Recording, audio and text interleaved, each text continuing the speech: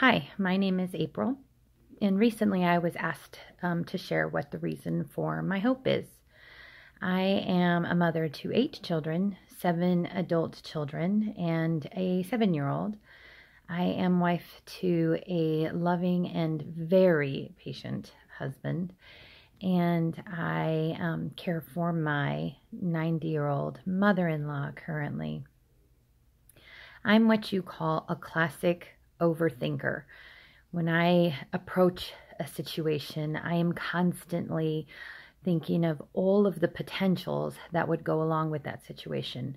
And along with that, what would be a solution for those situations? So my mind is constantly going, I'm constantly thinking. Um, and that tends to make me a little bit um, of a worrywart and lacking in um, the trust that uh, everything will be okay.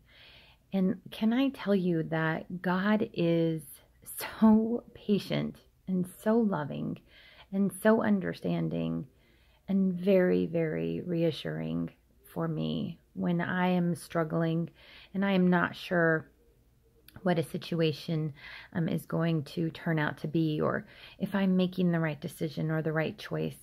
God is there. He's he's got my back and he's like telling me, just relax. I've got this. I'll take care of it. Don't worry. Trust in me. So I do. Um, I pray to him often. I talk to him often.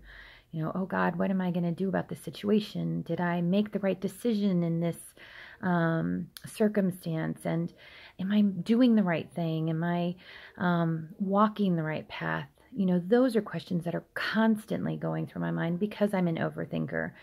And I love God because He is so patient and understanding and reassuring. Um, many times when I'm in Mass, uh, He'll answer my questions with uh, a reading um, of the day.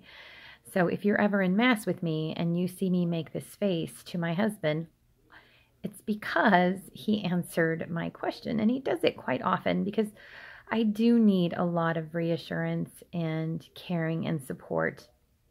And it's so funny that God knows me. Um, he knows what I need, and He's there to provide it for me.